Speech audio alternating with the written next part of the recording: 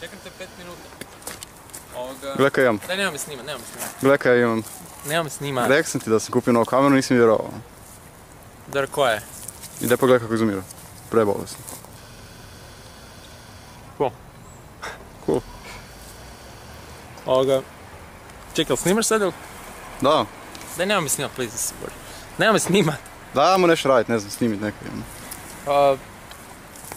Ajdemo do mate. Možda. Nema me Al- snima, ti što Dobro, dobro. Evo, Pet likova u kafiću. pa da. I mi nismo... Onog lika, gledaj onog liku. Di? Gle lik piše tamo, gdje ga snima. Ne, jel piše, kaj radi? Sam stoji. E! Al, Damo dalje mi. Kaj radi se? Pa nemam pojma. Dobro, nema veze, aj, uh, neće idemo mi, kaj? Nema me snima. Mm, Cijelo vrijeme mi je bilo onako ono, blurano onako, kad sam dolazio, nemam pojma kaj. Kaj je to? A, fuck! E, gledaj, Bravo. gle lika. Au, Isuse Bože. Ček, to je li to ono opet? to je onaj lik koji piše. Kaj ima? Kaj ima? Dobro, da, je- lik? Koji vrak? nemam pojma, daj ga šutni, ja Ne znam. Daj ga šutni. ne, neću se. Mislim da je pijan ili nešto. ne znam. Ok, mislim da idemo... Ajmo mi odavde, ajmo.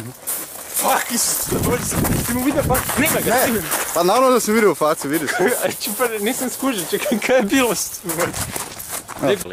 Zato, snimiti. na šanse da idem snimiti tog lika, vidiš da nas je napalo, kaj je tebi ono? Ne, daj čovječe, onak možemo ga staviti na YouTube, Da, onak. To je ja- samo stari deda, ne, pijani. ja idem, na šanse. facom, onak, daj, ajmo ga snimiti se, Bože, su. Čik, Da to oni se, Bože. Kak je došao tu? Se, Bože, daj, e, k- kaj, jel to oni se, Bože? Snimaj ga, sad, sad ga snimaj, sad nemoj pobjeć. Kaj radi se, Bože? Radi? ne znam. Ej, jel si ti u redu, onak? Oprostite, jel vam treba pomoć? E,